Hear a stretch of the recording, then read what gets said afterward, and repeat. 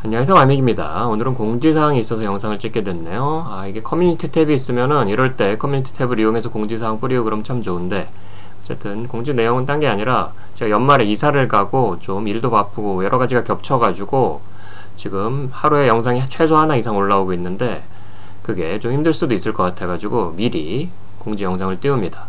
제가 물론 비축분을 만들어가지고 매일 하나씩은 예약해서 올리려고 그런 예정인데 뭐 인터넷도 중간에 끊겨야 되고 막 이러니까 꼭 안 지켜줄 수도 있거든요. 그러니까 영상이 안 올라오더라도 너무 놀라지 마시고요. 음, 제가 무슨 일이 있어서 그런 게 아니니까 어, 무슨 일이 있긴 있죠. 업무가 바쁜 일이 있긴 한데 그게 아니라 무슨 사고가 나거나 그런 거 아니니까요. 걱정하지 마시고 계속 매일 방문해 주시면 될 것 같아요. 어, 뭐 공지할 내용은 이 정도 끝이네요. 네. 그러니까 여지껏 재밌게 봐주신 분 너무 감사드리고요. 구독자 5천명 감사 인사도 못 드렸네요. 뭐 여러 가지 감사할 일이 많긴 한데, 하여튼 그거에 보답하지는 못할 망정 영상이 안 올라올 수 있지, 아, 영상이 매일 안 올라올지도 모른다는 이런 공지를 하게 되네요. 어쨌든 일단 연말만 넘기면은 내년부터 또 여유 있으니까요. 또 한번 신나게 달려보죠.